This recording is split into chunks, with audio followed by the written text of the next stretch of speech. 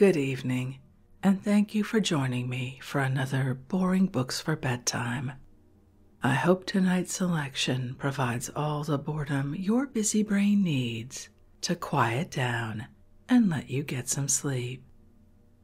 Before we begin, I'd like to give a special shout out of thanks to some new members of our Patreon family Sam in Japan, Melody, Megan, Mateo, and Doris.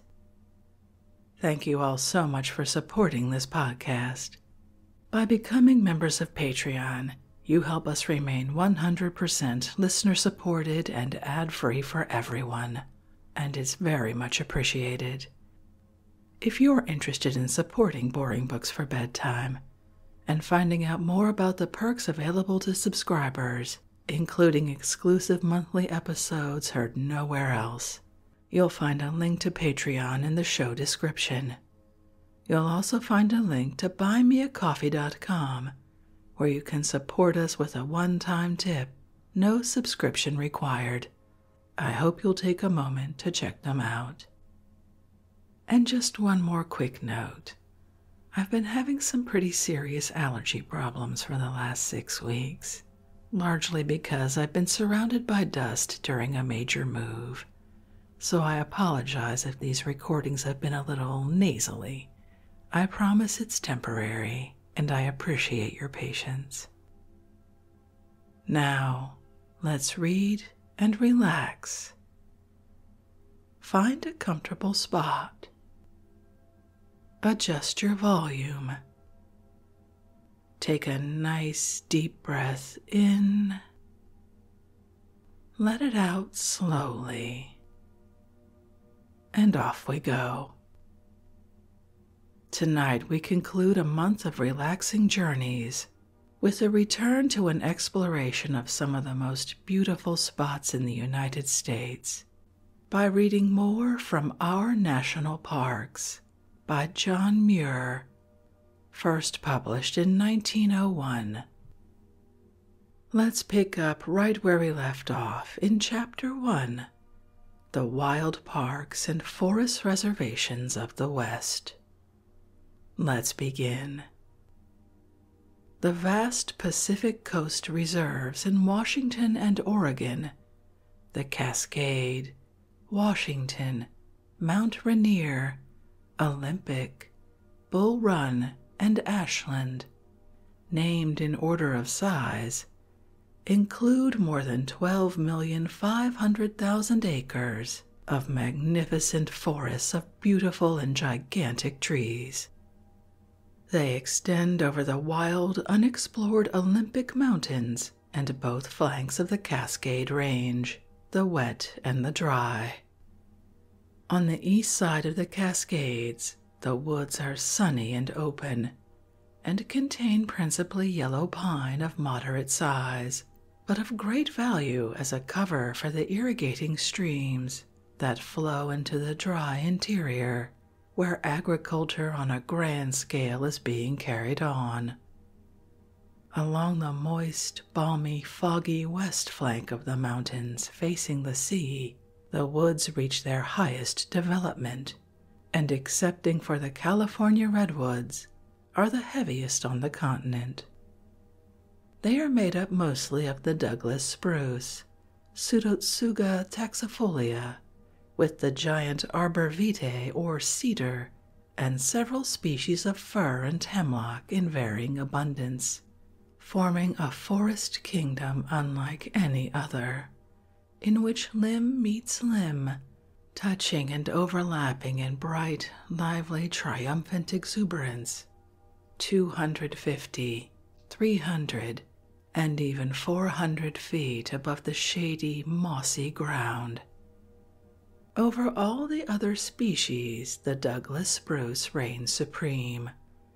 It is not only a large tree, the tallest in America next to the redwood, but a very beautiful one, with bright green drooping foliage, handsome pendant cones, and a shaft exquisitely straight and round and regular.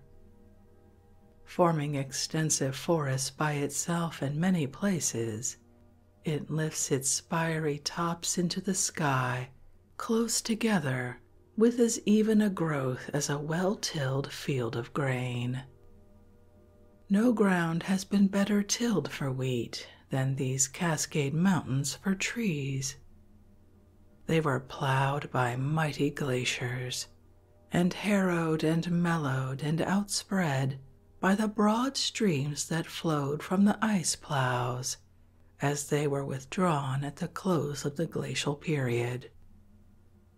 In proportion to its weight when dry, Douglas spruce timber is perhaps stronger than that of any other large conifer in the country, and being tough, durable, and elastic, it is admirably suited for shipbuilding, piles, and heavy timbers in general. But its hardness and liability to warp when it is cut into boards render it unfit for fine work. In the lumber markets of California, it is called Oregon pine. When lumbering is going on in the best Douglas woods, especially about Puget Sound, many of the long, slender boles are saved for spars, and so superior is their quality that they are called for in almost every shipyard in the world, and it is interesting to follow their fortunes felled and peeled and dragged to tidewater. They are raised again as yards and masts for ships, given iron roots and canvas foliage, decorated with flags and sent to sea, where in glad motion they go cheerily over the ocean prairie in every latitude and longitude, singing and bowing responsive to the same winds that waved them when they were in the woods. After standing in one place for centuries, they thus go round the world like tourists, meeting many a friend from the old home forest. Some traveling like themselves, some standing head downward in muddy harbors, holding up the platforms of wharves, and others doing all kinds of hard timber work showy or hidden. This wonderful tree also grows far northward in British Columbia and southward along the coast and middle regions of Oregon and California, flourishing with the redwood wherever it can find an opening, and with the sugar pine, yellow pine, and libocedrus in the Sierra. It extends into the San Gabriel San Bernardino, and San Jacinto Mountains of Southern California. It also grows well on the Wasatch Mountains, where it is called red pine, and on many parts of the Rocky Mountains and short interior ranges of the Great Basin. But though thus widely distributed, only in Oregon, Washington, and some parts of British Columbia does it reach perfect development. To one who looks from some high standpoint over its vast breadth, the forest on the west side of the Cascades seems all one dim, dark, monotonous field, broken only by the white volcanic cones along the summit of the range. Back in the untrodden wilderness, a deep furred carpet of brown and yellow mosses covers the ground like a garment, pressing about the feet of the trees and rising in rich bosses, softly and kindly, over every rock and moldering trunk, leaving no spot uncared for, and dotting small prairies and fringing the meadows and the banks of streams not seen in general views, we find besides the great conifers a considerable number of hardwood trees oak, ash, maple, alder, wild apple, cherry, arbutus, Nuttall's flowering dogwood, and in some places chestnuts. In a few favored spots, the broad leaved maple grows to a height of a hundred feet in forests by itself, sending out large limbs in magnificent interlacing arches covered with mosses and ferns, thus forming lofty sky gardens and rendering the underwoods delightfully cool. No finer forest ceiling is to be found than these maple arches, while the floor, ornamented with tall ferns and rubus vines, and cast into hillocks by the bulging moss covered roots of the trees, matches it well. Passing from beneath the heavy shadows of the woods, almost anywhere one steps into lovely gardens of lilies, orchids, heathworts, and wild roses. Along the lower slopes, especially in Oregon, where the woods are less dense, there are miles of rhododendron, making glorious masses of purple in the spring, while all about the streams and the lakes and the beaver meadows there is a rich tangle of hazel, plum, cherry, crabapple, cornel, gaultheria, and rubus, with myriads of flowers and abundance of other more delicate bloomers, such as erythronium, brodiaea, fritillaria, calochortus, clintonia, and the lovely hider of the north, calypso. Beside all these bloomers, there are wonderful ferneries about the many misty waterfalls, some of the fronds ten feet high, others the most delicate of their tribe, the maidenhair fringing the rocks within reach of the lightest dust of the spray, while the shading trees on the cliffs above them, leaning over, look like eager listeners anxious to catch every tone of the restless waters. In the autumn, berries of every color and flavor abound, enough for birds, bears, and everybody, particularly about the stream sides and meadows where sunshine reaches the ground. Huckleberries, red, blue, and black, some growing close to the ground, others on bushes ten feet high. Gaultheria berries called salal by the Indians. Salmon berries an inch in diameter, growing in dense prickly tangles. The flowers like wild roses, still more beautiful than the fruit. Raspberries, gooseberries, currants, blackberries, and strawberries. The underbrush and meadow fringes are in great part made up of these berry bushes and vines.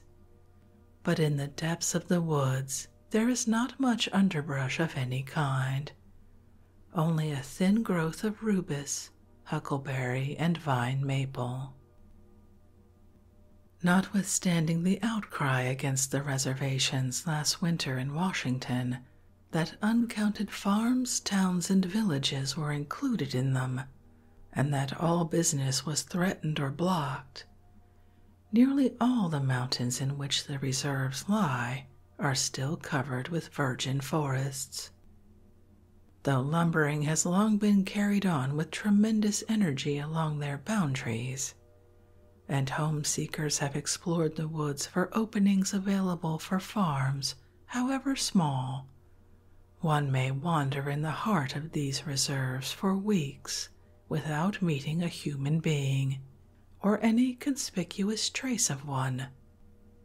Indians used to ascend the main streams on their way to the mountains for wild goats, whose wool furnished them clothing but with food in abundance on the coast, there was little to draw them into the woods, and the monuments they have left there are scarcely more conspicuous than those of birds and squirrels, and far less so than those of the beavers, which have dammed streams and made clearings that will endure for centuries. Nor is there much in these woods to attract cattle keepers. Some of the first settlers made farms on the small bits of prairie and in the comparatively open valleys of Washington. But before the gold period, most of the immigrants from the eastern states settled in the fertile and open Willamette Valley of Oregon. Even now, when the search for tillable land is so keen, excepting the bottomlands of the rivers around Puget Sound, there are few cleared spots in all western Washington. On every meadow or opening of any sort, someone will be found keeping cattle, raising hops, or cultivating patches of grain, but these spots are few and far between. All the larger spaces were taken long ago.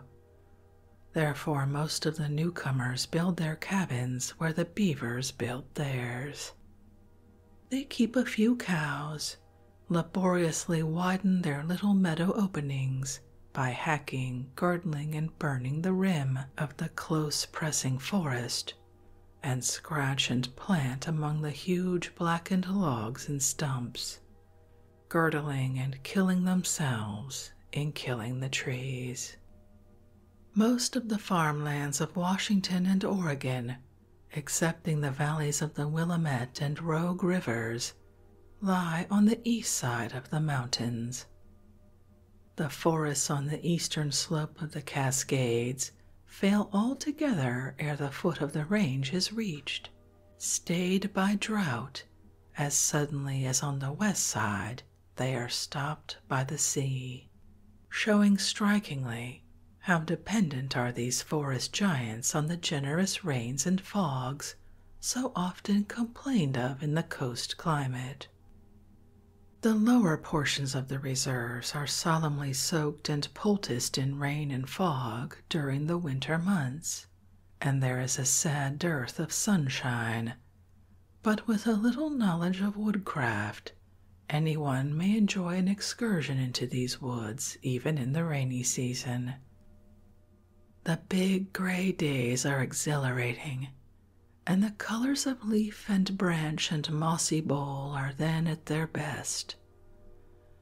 The mighty trees, getting their food, are seen to be wide awake, every needle thrilling in the welcome, nourishing storms, chanting and bowing low in glorious harmony, while every raindrop and snowflake is seen as a beneficent messenger from the sky.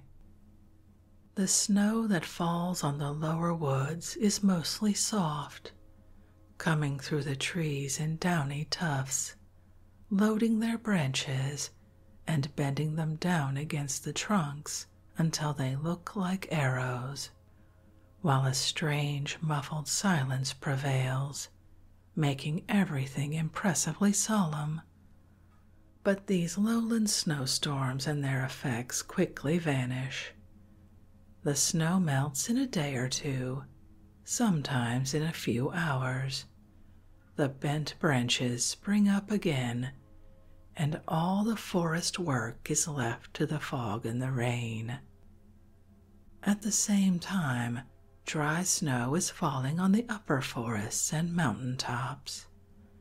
Day after day, often for weeks, the big clouds give their flowers without ceasing, as if knowing how important is the work they have to do. The glinting, swirling swarms thicken the blast, and the trees and rocks are covered to a depth of ten or twenty feet. Then the mountaineer, snug in a grove with bread and fire, has nothing to do but gaze and listen and enjoy. Ever and anon, the deep, low roar of the storm is broken by the booming of avalanches.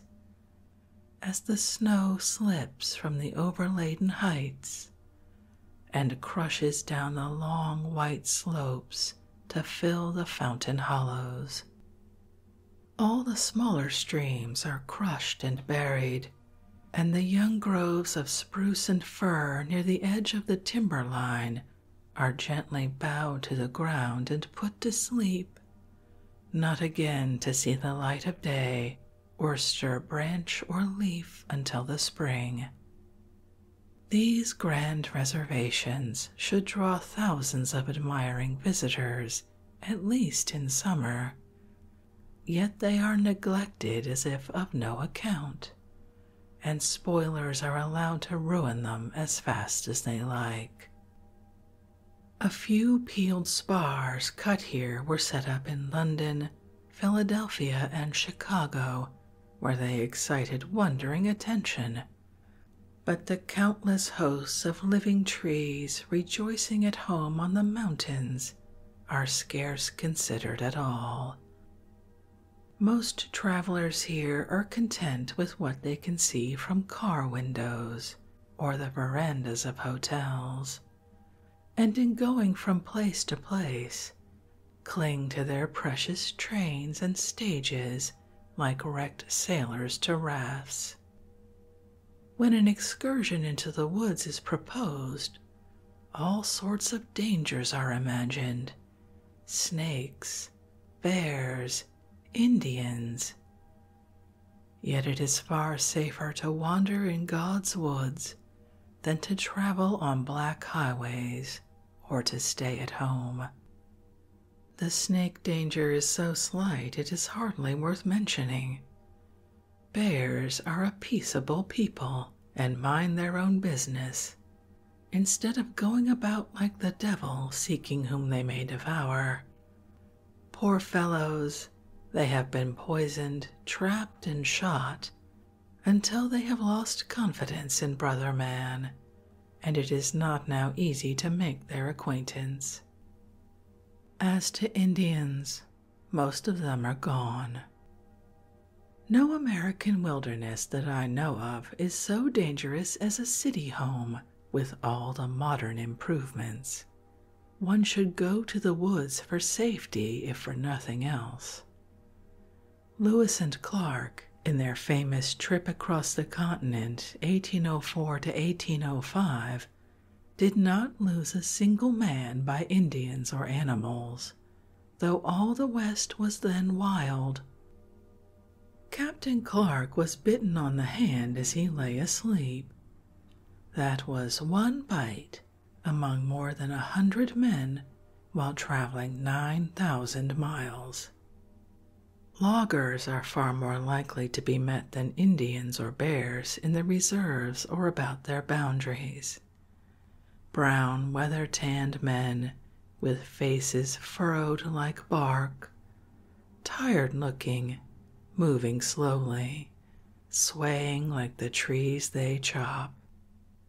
A little of everything in the woods is fastened to their clothing, rosiny and smeared with balsam, and rubbed into it, so that their scanty outer garments grow thicker with use and never wear out. Many a forest giant have these old woodmen felled, but round shouldered and stooping, they too are leaning over and tottering to their fall. Others, however, stand ready to take their places, stout young fellows erect as saplings, and always the foes of trees outnumber their friends. Far up the white peaks, one can hardly fail to meet the wild goat or American chamois, an admirable mountaineer, familiar with woods and glaciers as well as rocks. And in leafy thickets, deer will be found. While gliding about unseen, there are many sleek furred animals enjoying their beautiful lives. And birds also, notwithstanding few are noticed in hasty walks.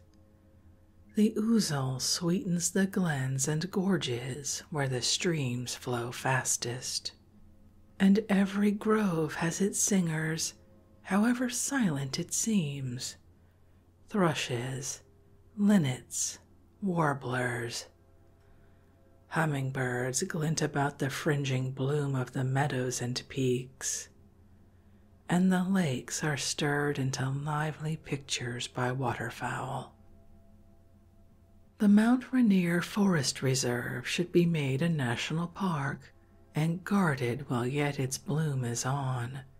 For if in the making of the West nature had what we call parks in mind, places for rest, inspiration, and prayer, this Rainier region must surely be one of them. In the center of it, there is a lonely mountain capped with ice. From the ice cap, glaciers radiate in every direction, and young rivers from the glaciers, while its flanks, sweeping down in beautiful curves, are clad with forests and gardens and filled with birds and animals. Specimens of the best of nature's treasures have been lovingly gathered here and arranged in simple symmetrical beauty within regular bounds.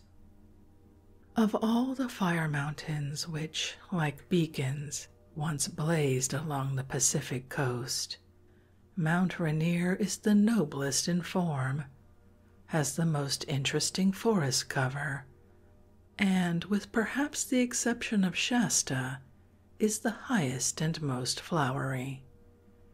Its massive white dome rises out of its forests like a world by itself to a height of 14,000 to 15,000 feet.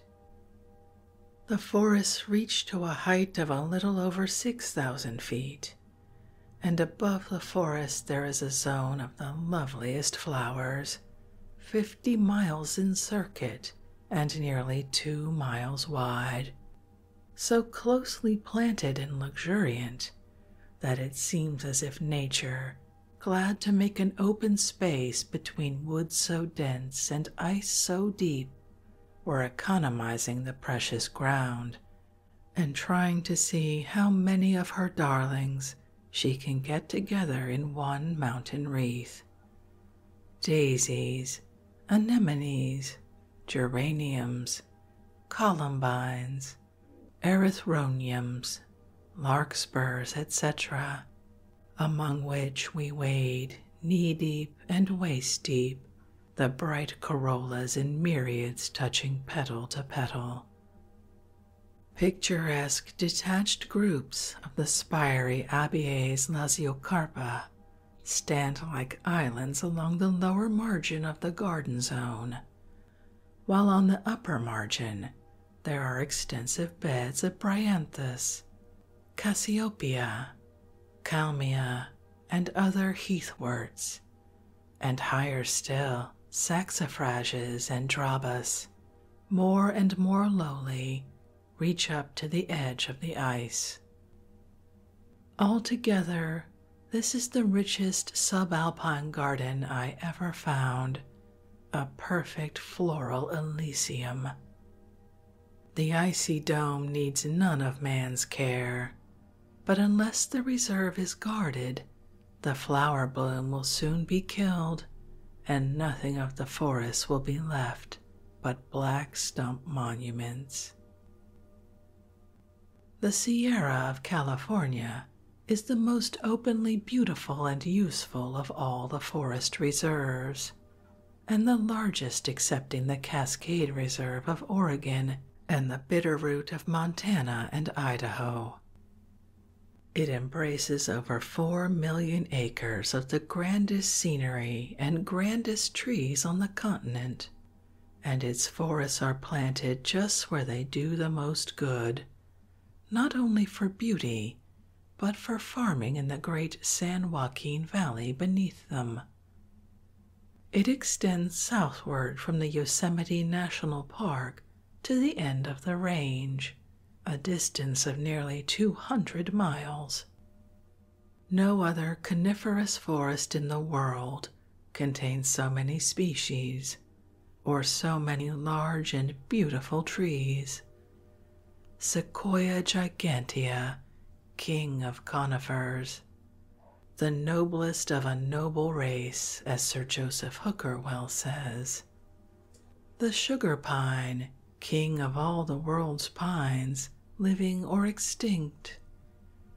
The yellow pine, next in rank, which here reaches most perfect development, forming noble towers of verdure two hundred feet high.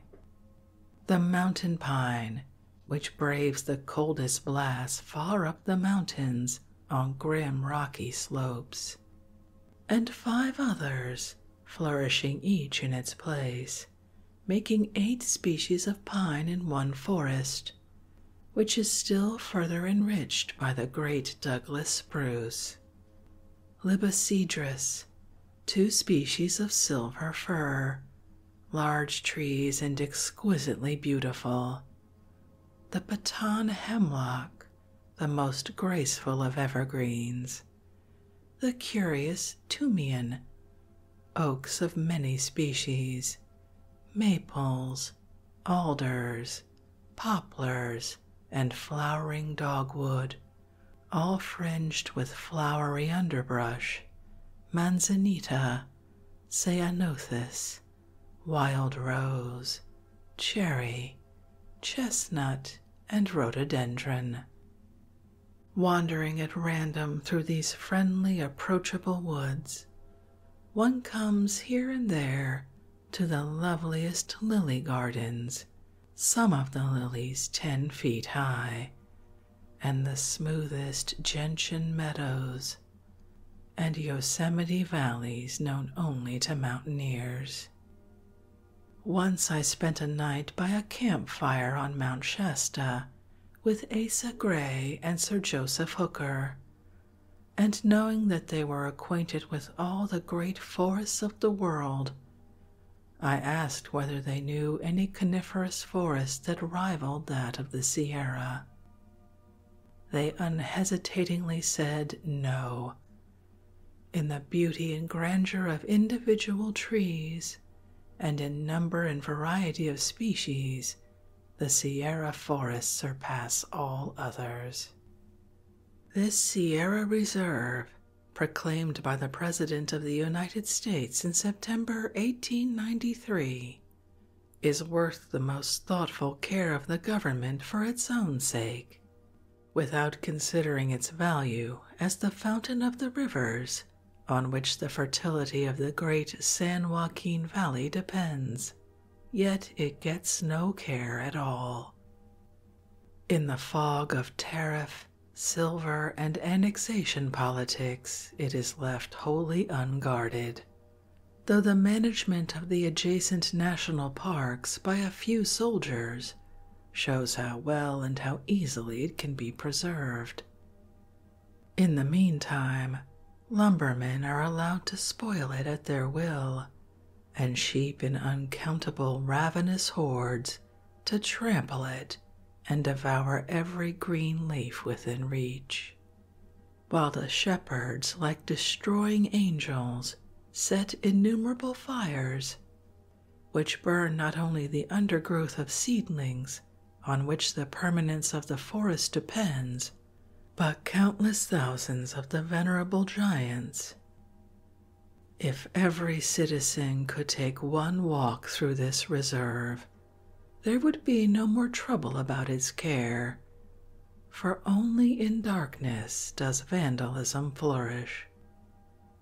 The reserves of Southern California, the San Gabriel, San Bernardino, San Jacinto, and Trabuco, though not large, only about two million acres together, are perhaps the best appreciated. Their slopes are covered with a close, almost impenetrable growth of flowery bushes, beginning on the sides of the fertile coast valleys and the dry interior plains. Their higher ridges, however, and mountains are open and fairly well forested with sugar pine, yellow pine, Douglas spruce, libocedrus, and white fir. As timber fountains, they amount to little, but as bird and bee pastures, cover for the precious streams that irrigate the lowlands, and quickly available retreats from dust and heat and care, their value is incalculable. Good roads have been graded into them, by which in a few hours lowlanders can get well up into the sky and find refuge in hospitable camps and clubhouses, where, while breathing reviving ozone, they may absorb the beauty about them and look comfortably down on the busy towns and the most beautiful orange groves ever planted since gardening began. The Grand Canyon Reserve of Arizona, of nearly two million acres, or the most interesting part of it, as well as the Rainier region, should be made into a national park on account of their supreme grandeur and beauty. Setting out from Flagstaff, a station on the Atchison, Topeka, and Santa Fe Railroad, on the way to the canyon you pass through beautiful forests of yellow pine, like those of the Black Hills but more extensive, and curious dwarf forests of nut pine and juniper. The spaces between the miniature trees planted with many interesting species of eriogonum, yucca, and cactus. After riding or walking 75 miles through these pleasure grounds, the San Francisco and other mountains, abounding in flowery park like openings and smooth, shallow valleys with long vistas, which in fineness of finish and arrangement suggest the work of a consummate landscape artist, watching you all the way, you come to the most tremendous canyon in the world. It is abruptly countersunk in the forest plateau, so that you see nothing of it until you are suddenly stopped on its brink, with its immeasurable wealth of divinely colored and sculptured buildings before you and beneath you. No matter how far you have wandered hitherto, or how many famous gorges and valleys you have seen, this one, the Grand Canyon of the Colorado, will seem as novel to you, as unearthly in the color and grandeur and quantity of its architecture, as if you had found it after death on some other star. So incomparably lovely and grand and supreme is it above all the other canyons in our fire molded, earthquake shaken, rain washed, wave washed, river and glacier sculptured world. It is about 6,000 feet deep where you first see it, and from rim to rim, 10 to 15 miles wide. Instead of being dependent for interest upon waterfalls, depth, wall sculpture, and beauty of park like floor, like most other great canyons, it has not waterfalls in sight and no appreciable floor spaces. The big river has just enough room to flow and roar obscurely here and there groping its way as best it can, like a weary, murmuring, overladen traveler, trying to escape from the tremendous, bewildering, labyrinthic abyss, while its roar serves only to deepen the silence. Instead of being filled with air, the vast space between the walls is crowded with nature's grandest buildings a sublime city of them, painted in every color, and adorned with richly fretted cornice and battlement spire and tower in endless variety of style and architecture. Every architectural invention of man has been anticipated, and far more, in this grandest of God's terrestrial cities. Chapter 2 The Yellowstone National Park. Of the four national parks of the West, the Yellowstone is far the largest. It is a big, wholesome wilderness on the broad summit of the Rocky Mountains, favored with abundance of rain and snow, a place of fountains where the greatest of the American rivers take their rise. The central portion is a densely forested and comparatively level volcanic plateau with an average elevation of about 8,000 feet above the sea, surrounded by an imposing host of mountains belonging to the subordinate Gallatin, Wind River, Teton, Absaroka, and Snowy Ranges.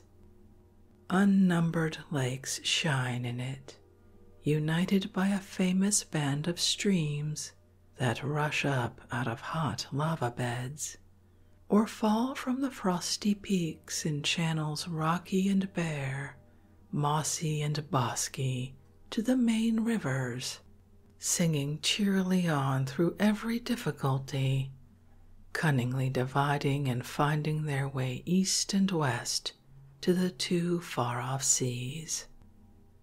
Glacier meadows and beaver meadows are outspread with charming effect along the banks of the streams park like expanses in the woods, and innumerable small gardens in rocky recesses of the mountains, some of them containing more petals than leaves, while the whole wilderness is enlivened with happy animals.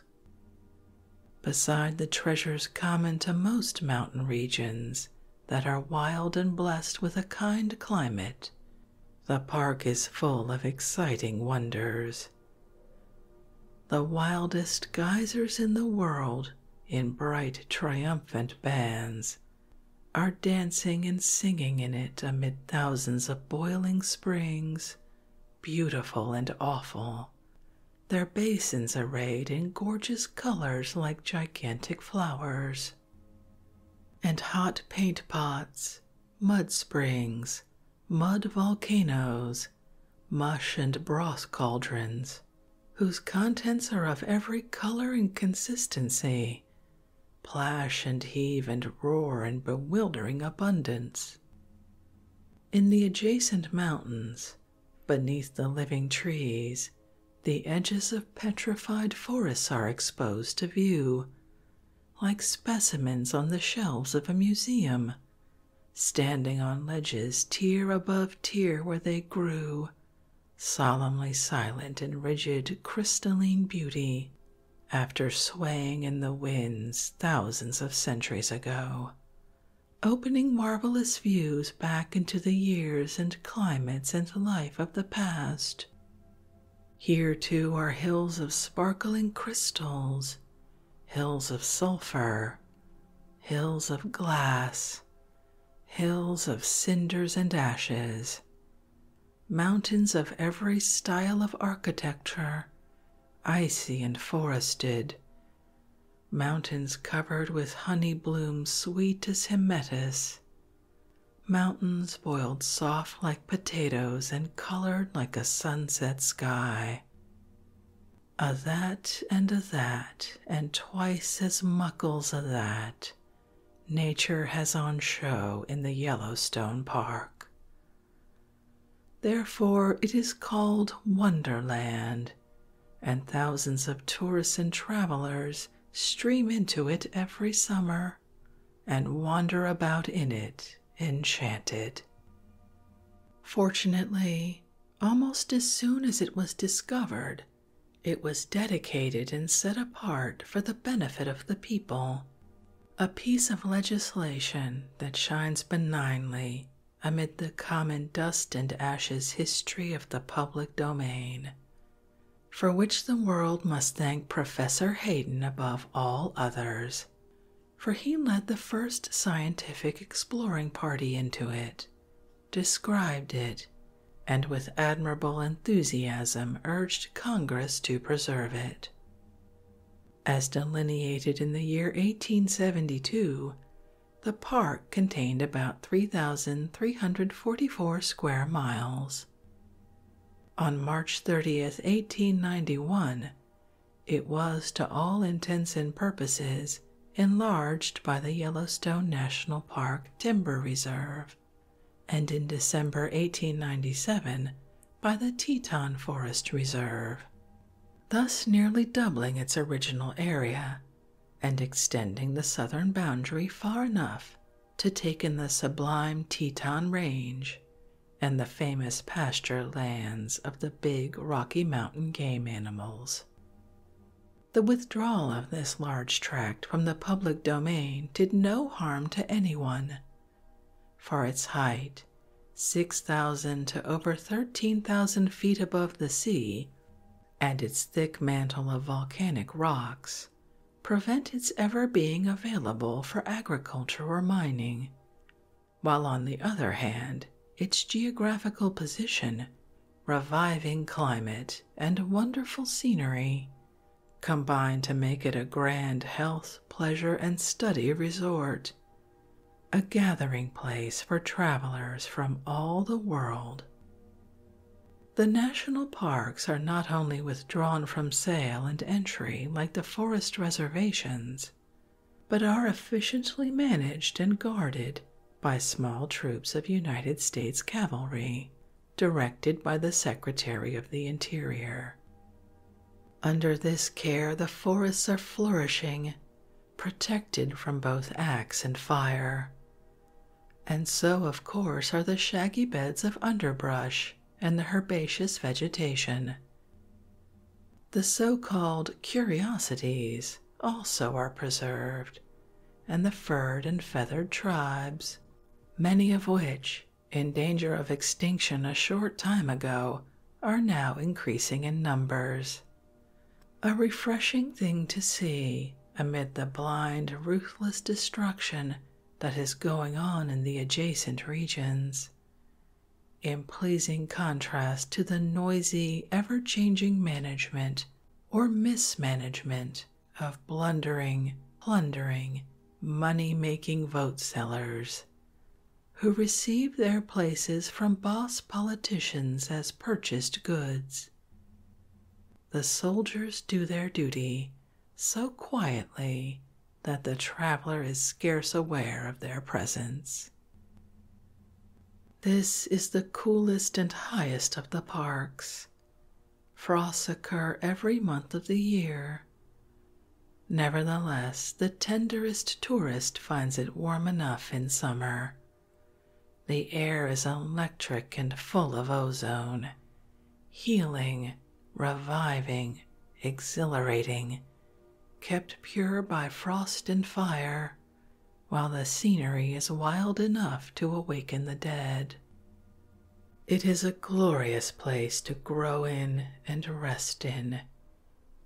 Camping on the shores of the lakes, in the warm openings of the woods golden with sunflowers, on the banks of the streams, by the snowy waterfalls, beside the exciting wonders, or away from them in the scallops of the mountain walls, sheltered from every wind, on smooth, silky lawns enameled with gentians, up in the fountain hollows of the ancient glaciers between the peaks, where cool pools and brooks and gardens of precious plants, charmingly embowered, are never wanting, and good rough rocks, with every variety of cliff and scar, are invitingly near for outlooks and exercise. From these lovely dens, you may make excursions whenever you like into the middle of the park where the geysers and hot springs are reeking and spouting in their beautiful basins, displaying an exuberance of color and strange motion and energy, admirably calculated to surprise and frighten, charm and shake up the least sensitive out of apathy into newness of life.